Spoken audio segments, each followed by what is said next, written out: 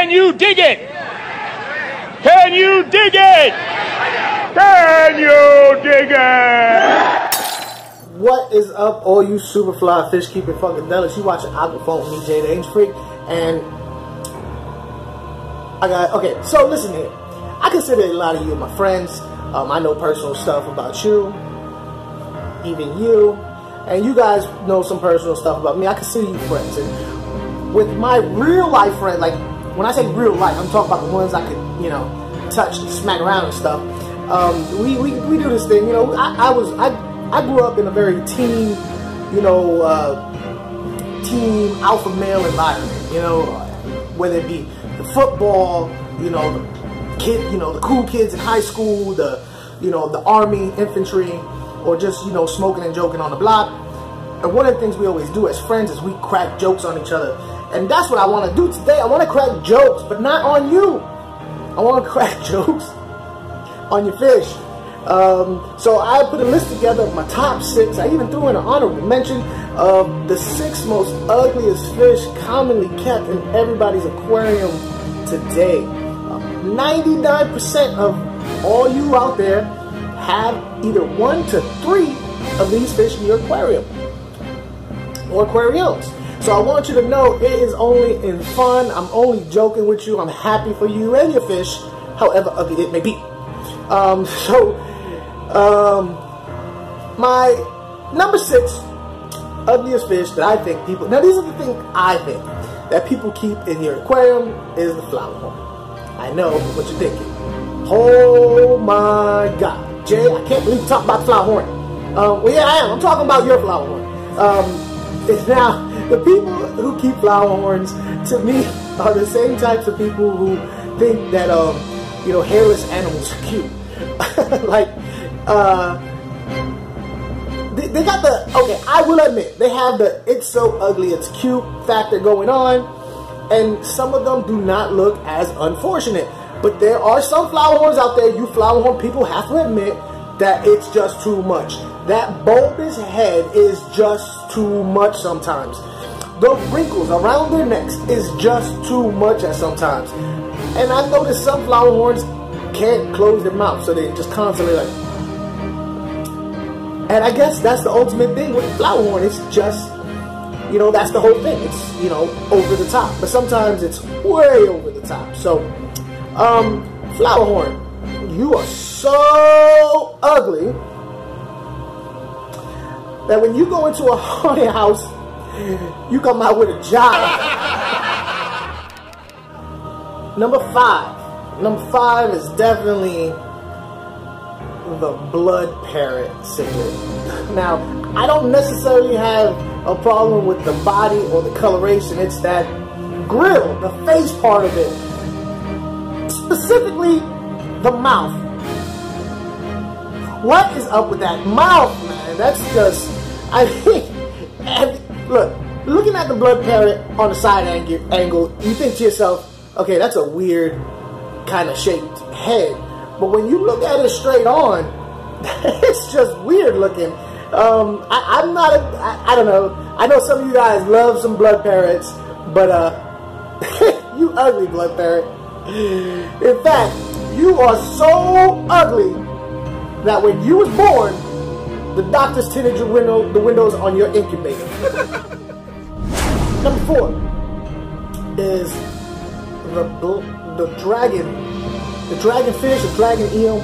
Now, I don't see these that often in the pet trade. I used to see them all the time. I still see them every once in a while, and people still have them in their tanks. Um, but do I really need to get into it? Dragonfish, you so ugly. You can scare blind people. Number three,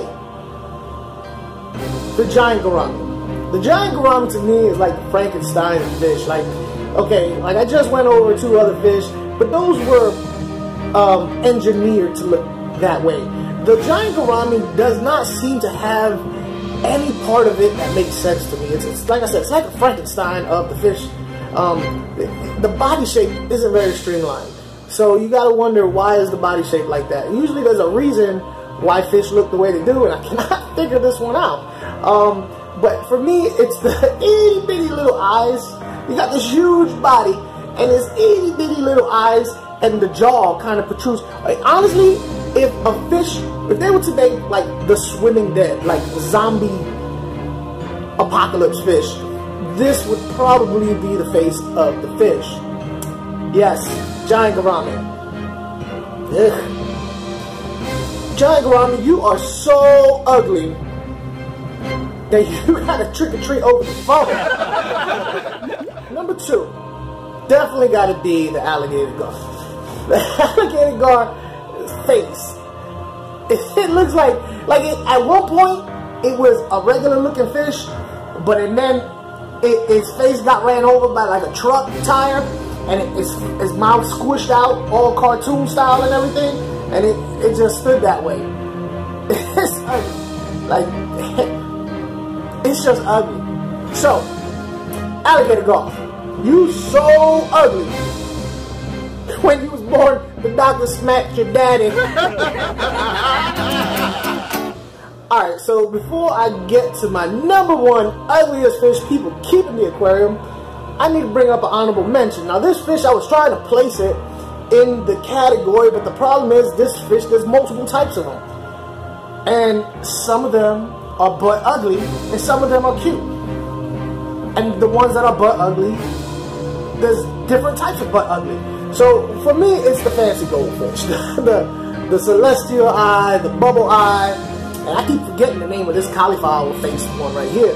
But that's an ugly fish. I, I look. I know a lot of y'all like like I said, hairless pets.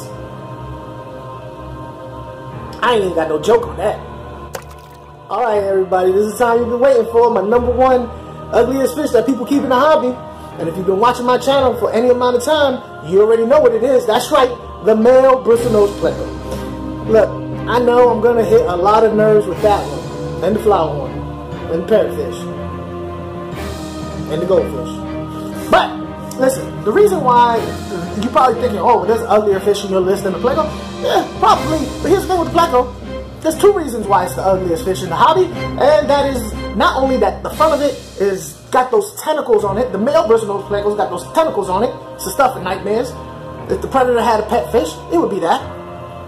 But not only is it ugly that way, but it's ugly that way. When it's sucked on your the front of your glass, you gotta stare at it just and it's a very you gotta admit, look, there's when you first got these things, it was sucking on the front of your glass, you had to tell yourself, hmm, I wish he would go to the back of the glass. He looks a lot better that way.